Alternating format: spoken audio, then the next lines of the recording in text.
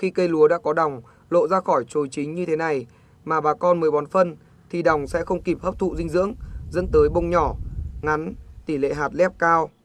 Trường hợp bón quá sớm, tức là bón trước khi lúa có đồng sẽ vừa gây lãng phí, vừa kéo dài thời gian sinh trưởng và làm cho cây lúa dễ bị sâu bệnh gây hại.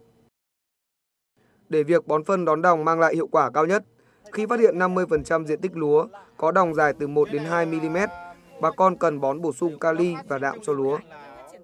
Trong quy trình ấy thì lượng kali chúng ta ở giai đoạn này chúng ta sẽ bón đến chiếm đến 70%, còn lượng đạm chỉ 30% theo cái quy trình à, chăm sóc cây lúa này.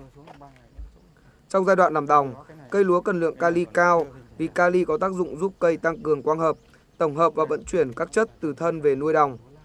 Còn đạm giúp tăng số lượng hoa và chiều dài bông.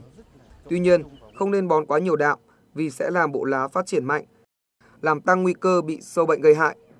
Với những giống lúa thuần, giai đoạn này, một xào Bắc Bộ bà con nên bón khoảng 3,5 kg kali cộng với 0,5 đến 1 kg đạm ure. Với giống lúa lai, lượng kali có thể bón tăng lên khoảng 4 kg trên một xào.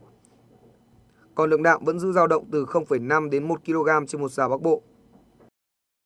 Sau khi đã bón thuốc đồng, ờ, bà con chúng ta đi kiểm tra đồng ruộng mà thấy cây lúa có biểu hiện là thiếu dinh dưỡng thì chúng ta sẽ phải bón bổ sung và cái thời gian bón này thì cách cái đợt bón đầu tiên khoảng 2 tuần và lượng bón là bà con thể bổ sung là 2 kg kali và 1 kg đạm trộn lẫn vào cho một bón cho một xào bắc bộ.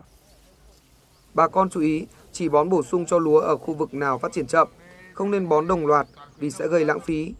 Bà con cần làm theo nguyên tắc chung, nếu ruộng xanh thì giảm đạm tăng kali, nếu ruộng vàng thì cần cung cấp tăng thêm đạm. Ngoài đảm bảo dinh dưỡng, giai đoạn làm đồng, nước cũng là yếu tố không thể thiếu đối với cây lúa. Đến giai đoạn lúa chỗ đồng thì bắt buộc trên ruộng lúa phải đủ đủ nước và mức nước trên đồng ruộng có thể từ 5 đến 7 cm. Nước là thành phần cấu tạo nên chất nguyên sinh. Các quá trình trao đổi chất đều cần nước tham gia. Vì vậy, nước nhiều hay ít sẽ ảnh hưởng đến chiều hướng và cường độ của quá trình trao đổi chất. Giai đoạn làm đồng, hoạt động trao đổi, tổng hợp chất trong cây lúa diễn ra rất mạnh mẽ. Vì vậy, nếu không có đủ nước trong giai đoạn này, nguy cơ mất mùa sẽ là rất cao.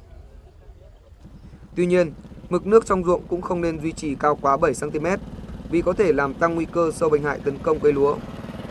Yếu tố cuối cùng bà con cần lưu ý là công tác phòng trừ sâu bệnh hại. À, cây lúa trong giai đoạn này thì nó có một số bệnh như trước hết là về sâu đục thân.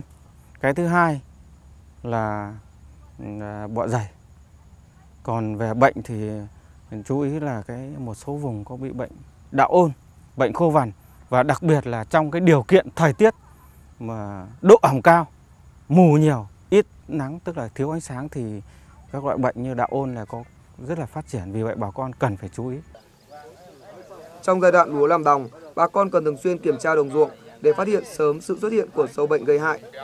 Sau đó, cần nhanh chóng liên hệ với cán bộ bảo vệ thực vật hoặc cán bộ khuyến nông địa phương để được tư vấn sử dụng thuốc phun trừ hiệu quả.